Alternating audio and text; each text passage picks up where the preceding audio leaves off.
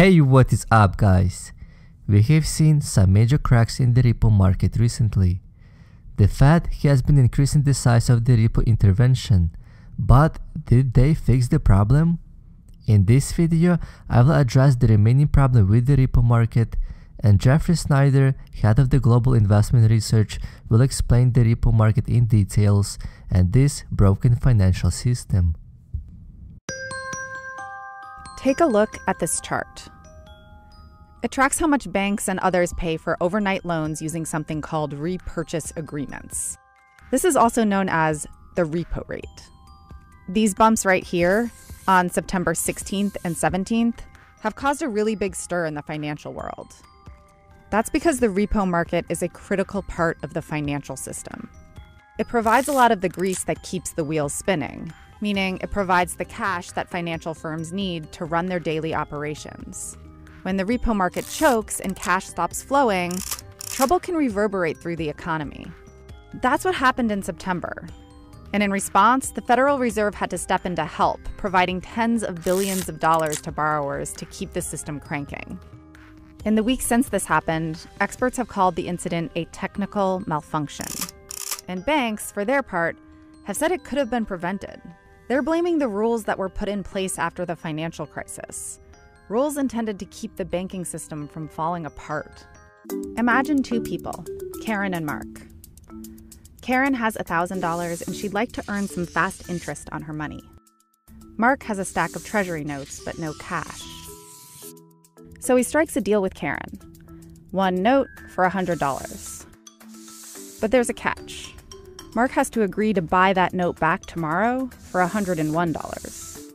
The difference between the price of the note on day one and day two, that's the repo rate. If everything works properly, Mark gets the cash he needs right when he needs it. And Karen makes some fast money.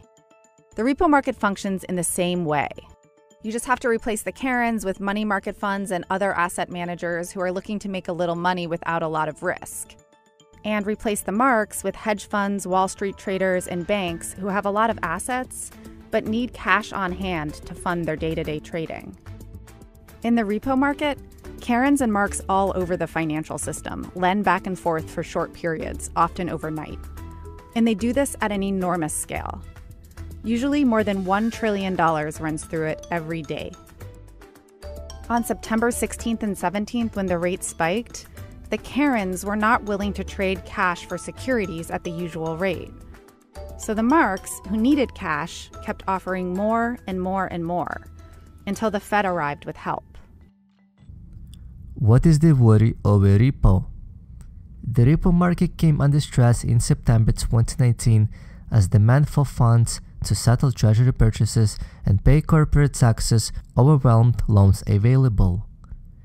Interest rates in US money market shot up as high as 10% for some overnight loans, more than four times the federal fund rates, which is kinda insane. Since September, New York Federal Reserve has offered daily operations where it injected liquidity into the overnight market. In addition to frequent offering of long-term loans, it is Fed's major market intervention since the financial crisis more than a decade ago. We exactly know what happened back in 2008-2009 housing bubble and global financial crisis. The Fed intervention helped the market to get through another period of high corporate tax payment and treasury debt settlement. As explained earlier, the Fed's repo operation are made only with the major dealers, with banks passing liquidity onto their clients. Heading into 2020, the banks may be more reluctant to make those loans, which could leave borrowers struggling to raise cash.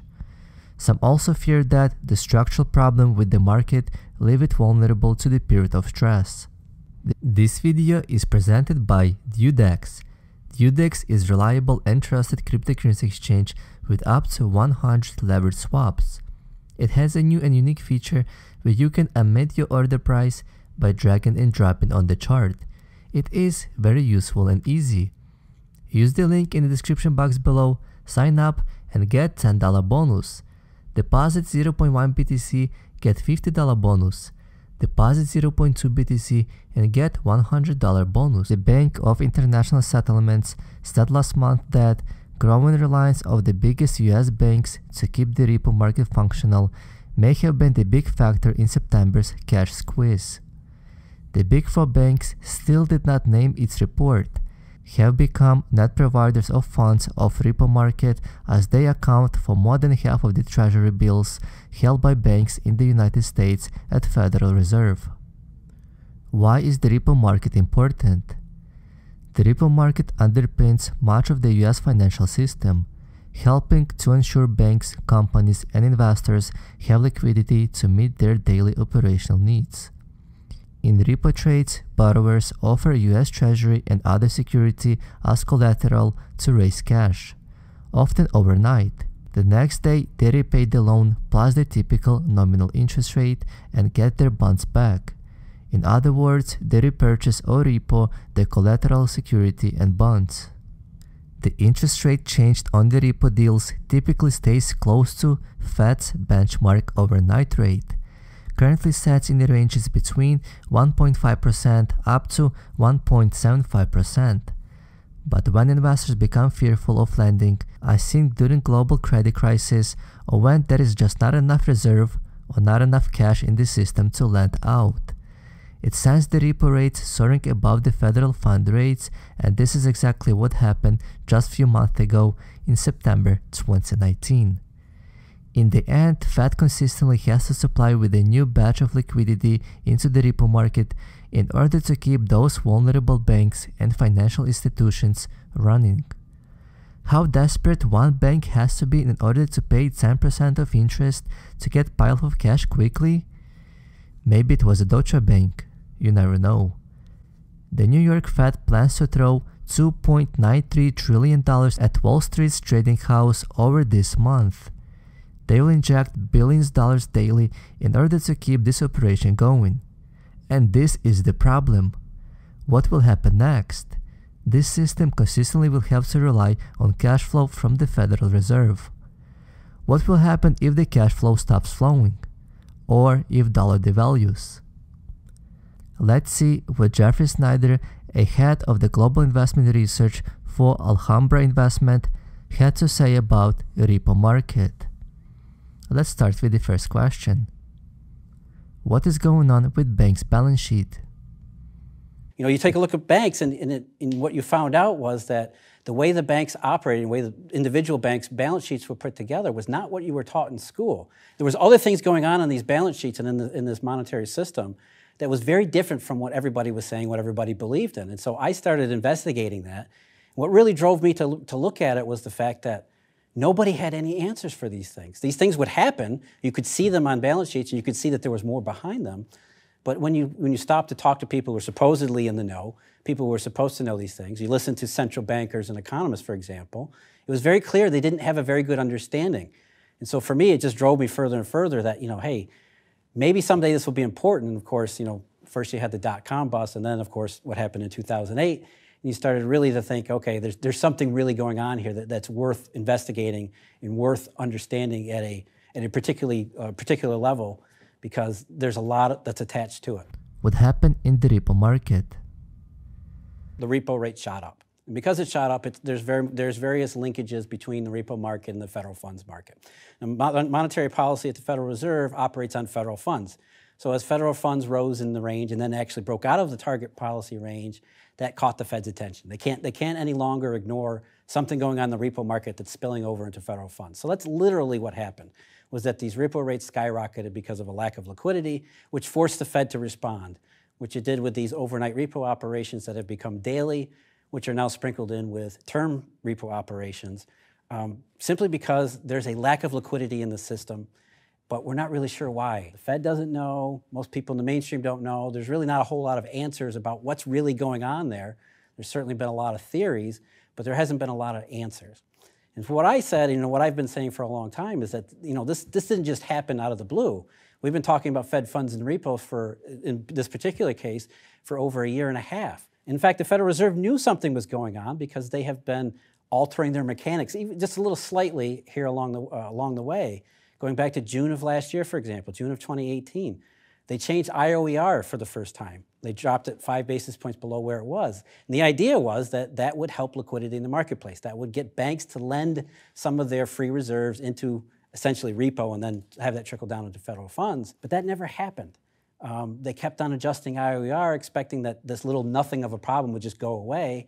And they kept finding out that, you know, hey, there's, there's something going on here. There's something else going on here. And really, that's the big message behind all of this.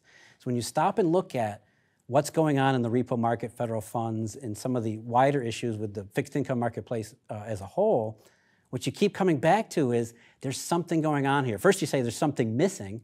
Obviously, there's something missing. We saw that last week. You know, there's a big piece of liquidity missing.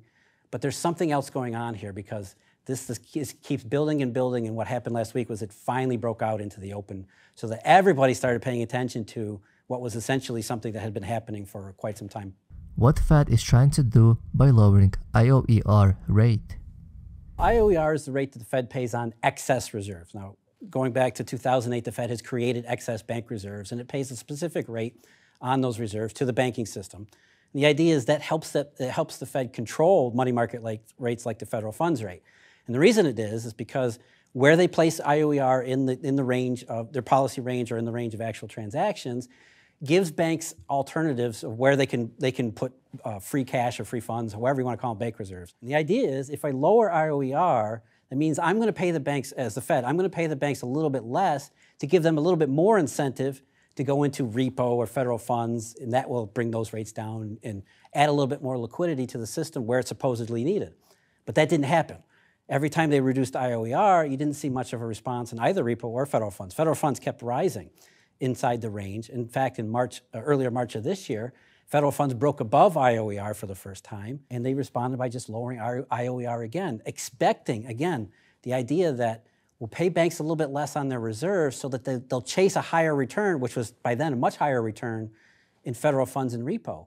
And again, we come back to that same question. Why didn't the banks do that? Where were they? What are we missing here? Banks were not taking that advantage of what should have been a, a much higher incentive to add liquidity into repo and federal funds and these other places. They weren't doing it. Why banks are not entering the repo market? Banks being constrained. The reason they're not going into these marketplaces is because they don't want to. They're, they're, there's something else going on in the system. And I think it goes back to last year. Uh, you look at May 29th, 2018, for example. What happened on May 29th, 2018 was, was nothing more than uh, interest rates tumbling, but they, they fell sharply. And all, what that said was that the market was concerned about something. Something happened on May 29th. We may not know exactly what it is, but because uh, it wasn't just US Treasury yields, you had German bond yields and other yields, uh, sovereign bond yields around the world tumbling on May 29th, what it did was it announced that something had just happened in the, in the global system. You know, again, we're talking about a global reserve currency and therefore a global monetary system.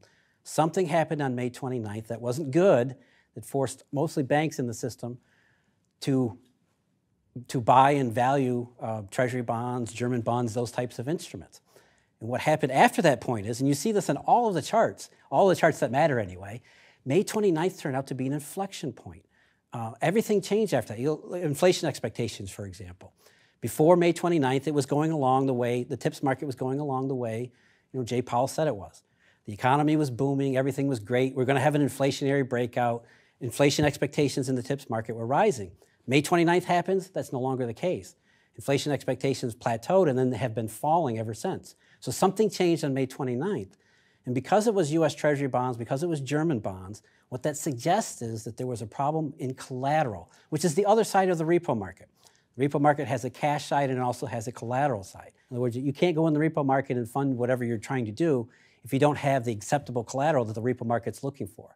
So what we know by from May 29th is something happened, and it likely happened in the collateral system. And ever since that point, it's ever since May 29th of last year, these banks, these global, this global banking system, this global monetary system, has been increasingly reluctant to respond whenever you see these other opportunities, let's call them, to offer liquidity, to offer to funds. They don't want to do it. They're staying out of it. You know, so again, something's missing, something is absent. And I think a lot of it has to do with the collateral side in the repo market. Can the Fed fix the problem with the repo facility? No, it's, it's definitely hand, wave, hand waving. And the reason is, I mean, look, the Fed did overnight repo operations daily, and they have been since last week, and it hasn't had much of an effect. The repo rate isn't as elevated as it was in the middle of last week, But that was just because that was a seasonal low point on the calendar. So all that happened that brought the repo rate back down to where it was before was that the seasonal bottleneck had passed. So before the bottleneck, you had the repo rates and federal funds rate elevated, suggesting less, lack of liquidity. Then after the word the bottleneck, you had elevated repo rates and federal funds rate. Not as elevated as the middle of last week, but still elevated this week.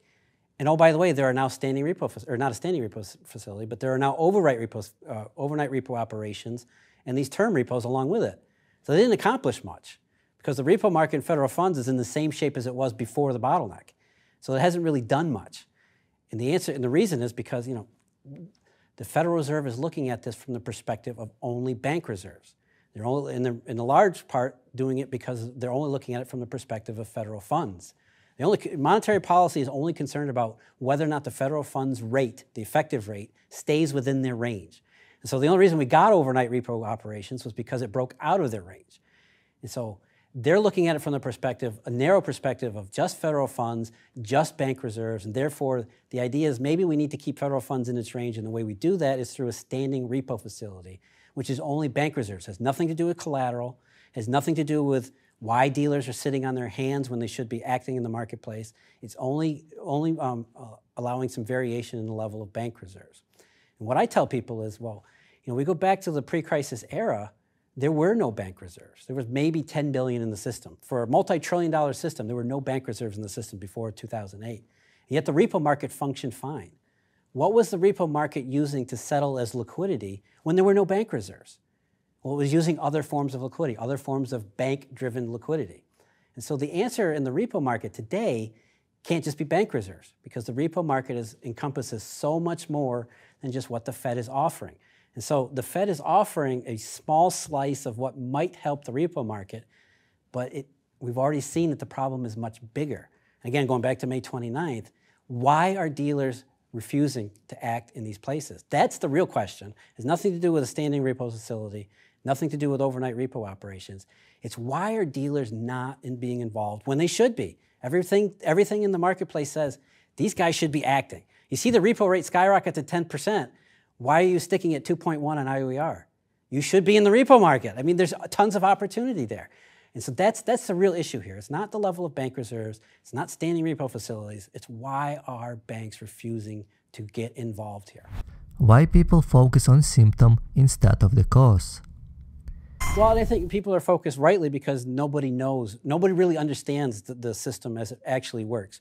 And that includes policymakers, by the way, sadly. Um, the fact is that monetary policy is not a money policy. It's not about um, understanding liquidity and understanding this global system. Monetary policy is only about managing people's expectations, and that's what the Fed's doing. What happened last week was, uh, what happened last week was, the Fed found out it's hard to manage people's expectations when you have an obvious problem in a way that everybody's talking about it. If you have a, you have a situation where the federal funds rate breaks out of its range, it's hard to manage people's expectations positively and affect the economy in a positive way as policymakers expect if you have this problem in repo. And if everybody keeps talking about this problem in repo because it raises uncomfortable questions. And you don't have the answers to why, what is going on in repo? Why is it still going on in repo? And if you don't know, it makes it much more difficult. So, you know, the idea here is that um, the level of monetary expertise, the level of expertise about the monetary system as it actually functions is very low. And it's even lower in the general public because for a very long time, nobody paid attention to these things. Everybody just thought, well, Alan Greenspan's got it covered. Ben Bernanke's got it covered. We don't need to understand repo because somebody out there does. And therefore, nobody, nobody's ever asked any real questions about the monetary plumbing of the system. And that includes policymakers who thought, we'll just do some QEs or something. Whether it works or not, people thinks it, as long as people think it works, they're good enough for us. And so it's, overall, it's a lack of understanding about how things actually work. But that's not a small thing because, again, as I touched on in the beginning, this is a global monetary system that, that affects every part of the global, global economy and uh, a lot of global markets. This isn't a new problem. I think it's also important to point out that this is not the first time we've seen this kind of tightening. This is actually the fourth time this has happened since 2008. The first one, obviously, everybody knew about. That was the global financial crisis in 2008. Everybody focused in on subprime mortgages, but that was only maybe the catalyst which, kicks, which kicked things off. We know from things like the global, uh, the, the, dollar swaps that the, central, the Federal Reserve did with the foreign central banks, that what really happened in 2008 was a global dollar shortage. Same kind of dollar shortage we're talking about today. What has happened over the last dozen years or so is we've had these intermittent dollar shortages show up. Um, what's, you know, the last uh, year and a half is just the fourth in a series of them. There was a second one in 2011 and 2012. There was another one in 2014 and 2015 and lasted in the early part of 2016. And then this one showed up early on in 2018. Well, everybody's been talking about trade wars before, they, before anybody paid attention to repo. Everybody was experts in tariffs and Chinese goods. But no, I mean, this, this stuff is just repeating. And we see that consistently across these markets. The same market signals that we have today telling us that there's a dollar shortage going on right now that's, you know, that's leading up to repo and collateral and all this other stuff we're talking about.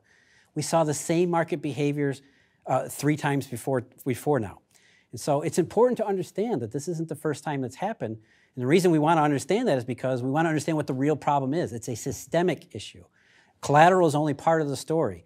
Um, but it, again, it's a systemic thing where it's causing a negative effect, again, the, across the entire global economy. It's leading to uncertainty in a lot of marketplaces. It's leading to just generalized uncertainty in uh, whether you're talking about politics and social factors. And so what I'm saying is that, you know, while people have focused in on trade wars, and trade wars are not helpful, um, that's a negative, that's definitely a negative pressure in the real economy. What's happened in the global economy overall is more about a dollar shortage, a repeated dollar shortage, than it is about trade wars. The reason people have focused on trade wars is because there's a lack of any alternative explanation. What else could it be? Nobody else has, nobody has any real answers. Again, like the repo thing, what else could it be? Nobody has any answers because nobody really pays attention to these kinds of things. Even after 2008, um, there's, there's been a, very, a lack of curiosity about the global monetary system, which is, to me is, is kind of strange, but it makes sense because most people just want to believe that you know, Ben Bernanke, Janet Yellen, Jay Powell, they all have it covered. We don't know how they have it covered, but we want to believe that they do. Therefore, they say everything is fine, it must be trade wars because we don't have an alternative explanation. But in truth, the dollar problem showed up before the trade wars did. And not only that, this is just the fourth iteration of the same, same event. So people are attributing um, the effects of this dollar shortage to trade wars because they don't have any other explanation. Is this system broken? Yeah, it's two different things, or two things that are related to each other. Number one, 2008 was not a one-off event. Everybody assumes it was it happened, it's over with, we're on to something else. No, it was an inflection point. The system before 2008 that ex, the system that existed before 2008 no longer exists today. It's still in place, but it doesn't work. It doesn't work for the people inside it, it doesn't work for the people outside it. But because very few people are aware that it's there, very few people are aware of what it does, it hasn't received the kind of recognition it requires and it deserves. The other thing is that, you know, what happened, what was going on, the system that existed before 2008, as I said before, was unstable. It was a, it was a ridiculous kind of system because it rewarded all the worst kinds of behaviors. Um, in some ways, it was like a spinning top. A spinning top that spins fast seems stable, but as soon as it starts to slow down, it wobbles and falls down. And so the, the banks that operate this, because what we're really talking about here is a credit-based global monetary system, and credit-based means something. It means that it requires bank balance sheet capacities for this thing to operate in at least the appearance of stability. And if the banks aren't willing to put in the resources, to put in the liquidity, to put in the balance sheet expansion for that system to operate, it is inherently, the inherent instability in it shows up. And it shows up in these discrete periods that we've talked about, these four different dollar shortages that have erupted along the way. So 2008 was a monetary break. It was a systemic break, and collateral is just one part of that systemic break. But a lot of it has to do, and what we all come back to, you know, again, we're asking the question, where are the banks? Why are they sitting on their hands? That's the reason. Uh, if you're looking at it from an overview perspective, going back to 2008, the system was never, ever fixed. That's the real point here, is that there's really survivability at, at stake here because that's what we saw. Bear Stearns went out of business. I mean, yes, Bear Stearns was merged, and as far as the Fed was concerned, concerned, that was a successful rescue. But if you're a manager of Bear Stearns, you're a shareholder of Bear Stearns, that's not how you view it. You lost everything. You know, the, the, import, the partners of Bear Stearns and the shareholders of Bear Stearns, they, they saw what, what the downside of this is. And that message was transmitted to all the rest of the banks. And so they understand post-crisis, there's no Fed behind everything, liquidity is shaky, and you know what, we don't really want to do this anymore. Even when the repo rate's 10%, that's not really enough because we are, we're aware of the potential downside and the potential risks that could be out there. Let me know what you guys think about repo market. Leave your thoughts in the comment section below, hit that like button, and subscribe.